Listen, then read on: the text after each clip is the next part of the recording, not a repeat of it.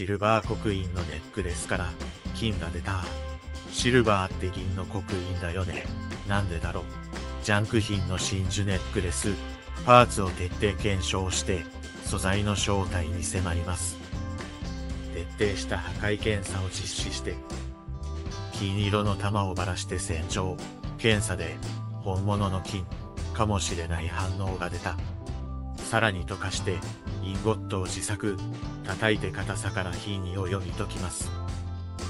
このネックレスから取れた金色の玉、いくらの価値があるのか、ぜひ最後まで見てください。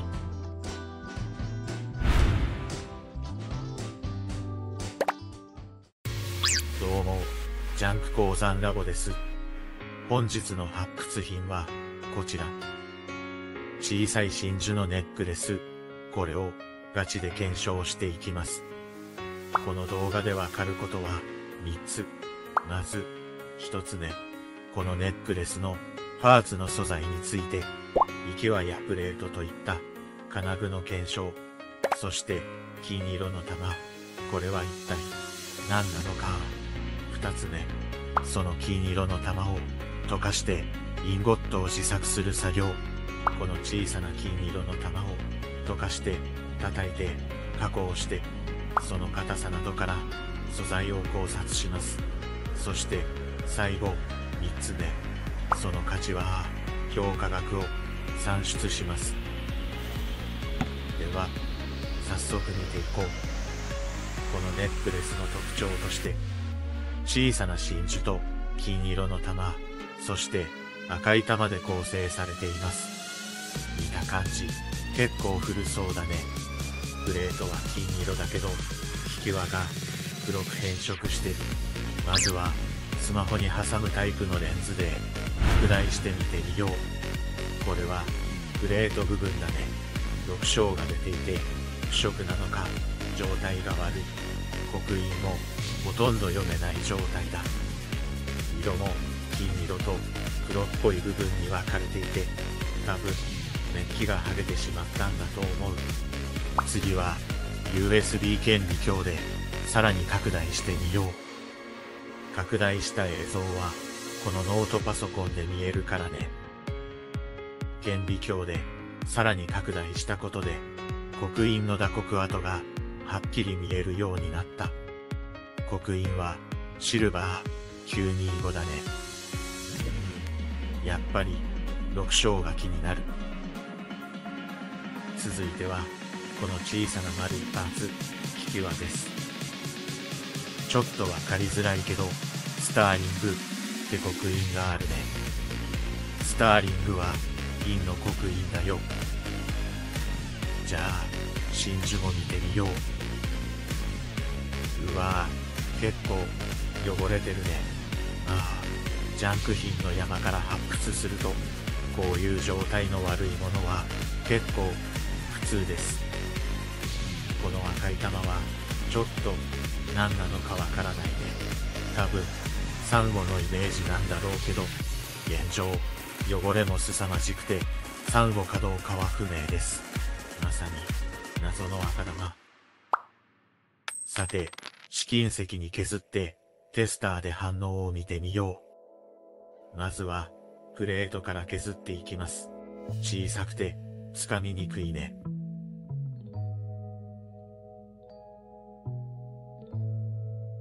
削り跡にテスターをつけて反応を見ます。削り跡は消えました。銀の場合、これは普通の反応です。問題は本体に直接テスターをつけたとき、これが激しく反応すると銀ではない可能性が高い。うん。なんか大丈夫そうだね。変色もいい感じです。次は引きはちょっと表面が反応してしまってるけど内部が露出するまで削ったところは白っぽくなってるね。これも銀である可能性が高いです。プレートも金メッキの痕跡が見られたので引き輪だけ黒はデザインとして合わない。なので引き輪も元は金色で表面に残った熱気層が現在反応していると考えられます。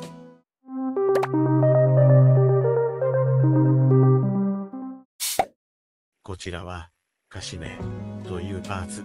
潰してワイヤーなどを固定する部品ですね。カシメルという言葉が語源なのかなさあ、次は金色の玉を見ていくぜ。あれ、なんか小さな穴が開いてるね。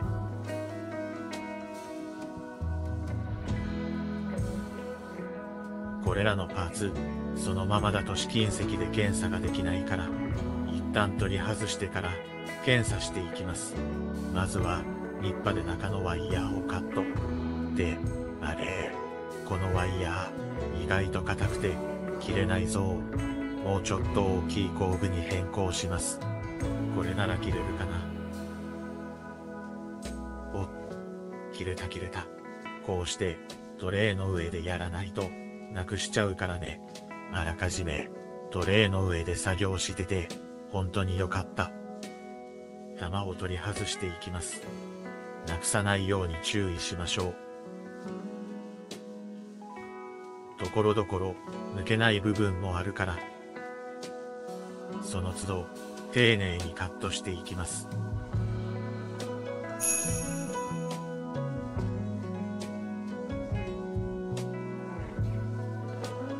バラバラになったね。玉の音を聞いてパチンコを思い出した人は明日もパチンコに行ってください。さて、かなり汚れてるから、真珠と赤玉だけ、超音波洗浄機で洗浄していくよ。で、拾い集めるのが大変だ。あ、逆だ逆。先に、数が少ないパーツから拾い集めた方が、効率いいよね。後で残った玉は一気に茶こしに入れればいいからね。よし、回収できました。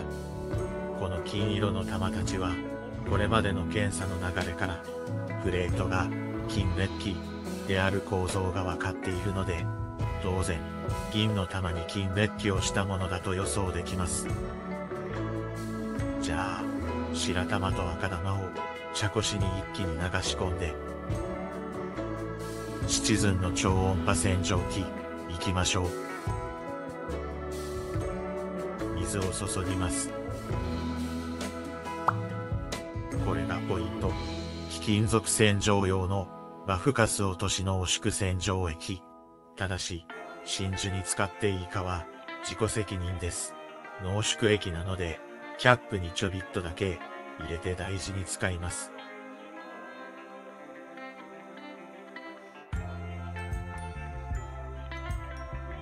それじゃあ、タイマーを300秒にセットして、スイッチオン。超音波洗浄機って、なんか独特な音するよね。じーってやつ。洗い終わったら、よく水ですすぎます。この、すすぎ洗いは、とっても大事。洗剤が残ってると、玉がベタついたりするので、しっかりよく洗い流してください。すすぎが終わったらよく乾かすんだけど、時短のためにサーキュレーターを使います。まあ、自然乾燥でも全然いいんだけど、それだと丸一日かかったりするんだよね。私はそんなに待っていられません。乾燥を待ってる間に、パーツを試金石で検査しよう。まずは、この金色のカシメから。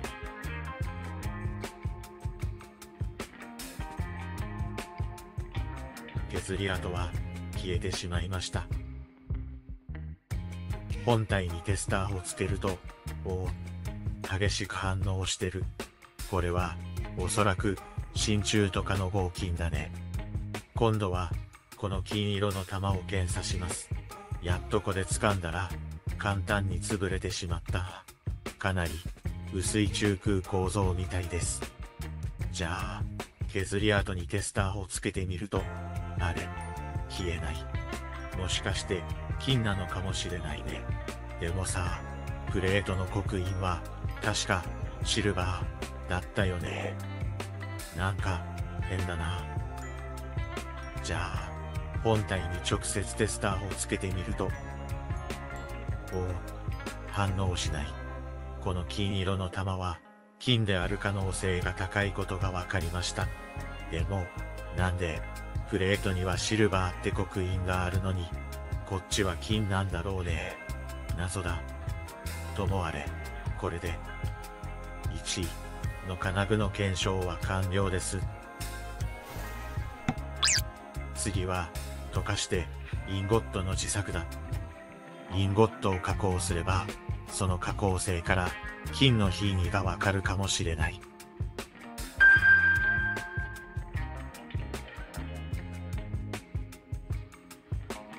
バーナーでどんどん溶かしていくぜ。ちょっと端っこにくっついてうまく流れないね。こういう時は、放射を追加して流れるきっかけを作ります。でも、なんかうまくいかなかった。まずいな。これじゃ、金が取れないよ。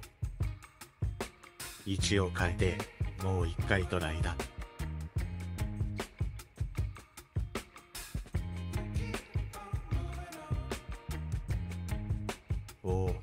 よかった。なんとかうまく型に流せたね。じゃあ次に、不純物の酸化皮膜を取るために、トイレの洗剤にしばらくつけておきます。しばらく放置。そろそろいいかな。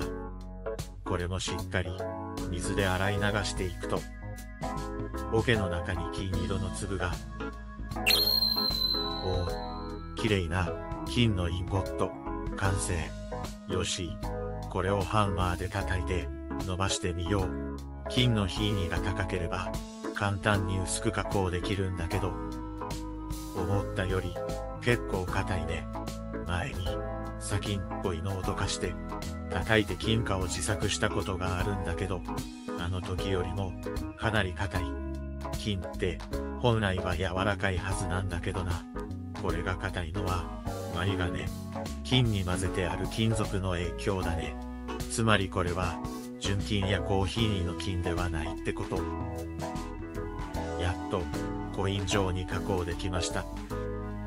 せっかくだから真ん中にタガネで穴のような溝を作って金貨っぽくしてみます。できた。完成。なんとなく怪しい、非に不明の自作金貨ができました。念のため、もう一度削ってからテスターで確認します。反応なし。今回もなんとか収穫がありました。シルバー刻印の真珠ネックレスからなぜか金が取れたのでした。さて、真珠が乾いたので、改めて顕微鏡とパソコンで見ていきましょう。だいぶ綺麗になったね。真珠の種類はちょっとわからないけど、形や傷がそれぞれ微妙に違うし、真珠層がなんとか見られることから、まあ、多分真珠でしょう。淡水パールとか、なのかな。あと、赤い玉も、サンゴっぽいですね。まあ、この辺は、本当は、宝石鑑別に出す必要があるんだけど、今回は、予算の都合上、第三者による鑑別は、行いません。ジャンク鉱山ラボでは、費用をかけずに、できる範囲でシンプルに検証するのがポリシーです。自作金貨も中央に綺麗な丸い溝が確認できます。ということで、2、インゴット作成と素材の考察では、金である可能性は非常に高い。ただし、叩いてみて結構硬かったので、純金のようなコーヒーのものではないという結論です。では最後に重さを測って評価額を算出してみましょう。金 0.17g。評価額は1530円から2040円。キーには14金から18金を想定しています。シルバー 0.4g。こちらは約36円。外した真珠と赤玉合わせて 9g で180円。今回は全て少額のため、売却は保留とします。シルバー刻印のネックレスに金が使われていたって、ほんと意味わかんない謎でしたね。今後もこんな感じの動画を作っていく予定なので、もしこの動画が良かったら、チャンネル登録とグッドボタンをよろしくお願いします。最後までご視聴ありがとうございました。